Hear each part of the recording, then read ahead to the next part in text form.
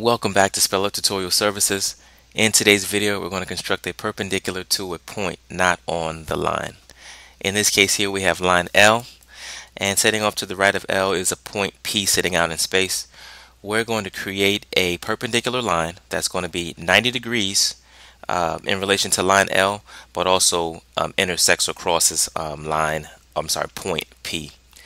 We begin by setting our protractor to an arbitrary radius. We just need to make sure that the radius is large enough so that when we create our arc, it's going to intersect line L at two different places.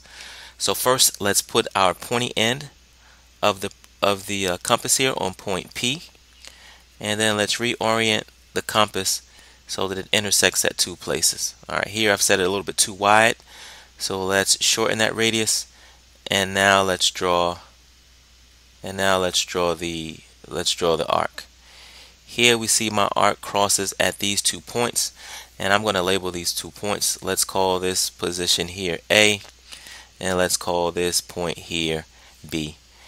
Next thing you need to do is to set the pointy end on each one of those intersections. I'm going to start here on point B and I'm going to draw another arc. Then I'm going to move the pointy end now to point A. Let's turn the compass. Let's move it here to point A.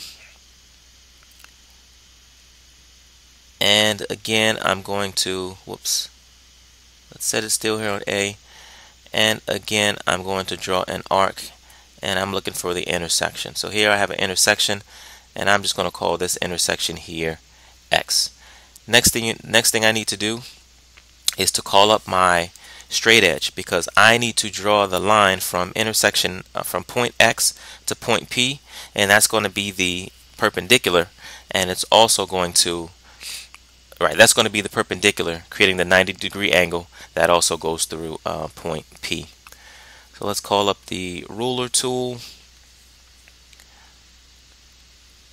And let's put that in place.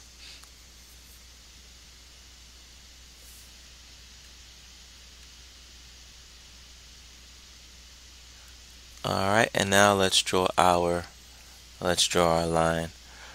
Alright, now that our line's drawn, let's let's put away let's put away the tools and then let's get rid of some of these excess markings that are on here. So let's let's get rid of these arcs here.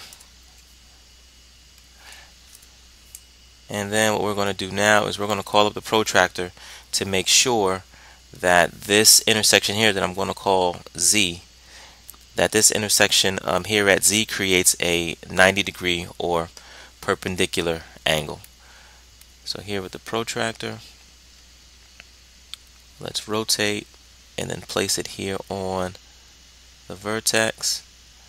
Let's make sure that it begins at zero, which it does. And as we go around, we see that my line here is in fact uh, very close uh, to 90 degrees. So that there proves that uh, using the compass and the straight edge we were able to construct a perpendicular that's um, that goes through a point on line L.